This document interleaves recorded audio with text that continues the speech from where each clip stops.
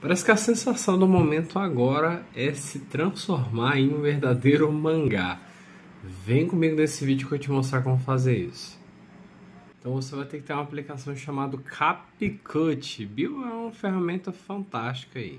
Eu vou abrir a ferramenta, ok? Aqui a gente já tentar alguns modelinhos aí de animes, né? Mas ali em cima, né, no pesquisar, você vai escrever assim, aí mangá TikTok tá? Aí vai aparecer vários modelinhos que você consegue usar.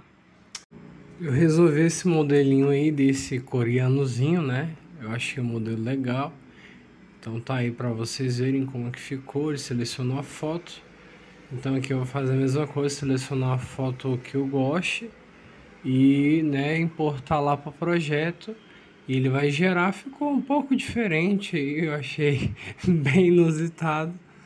Mas é legal o efeito, né? Você testar aí para ver como é que fica, beleza? Depois disso daí é só você exportar o projeto, né? E jogar aí pro TikTok ou rede social que você goste. Beleza? Espero que você tenha gostado desse vídeo. Então dá um likezinho e siga a gente nas redes sociais.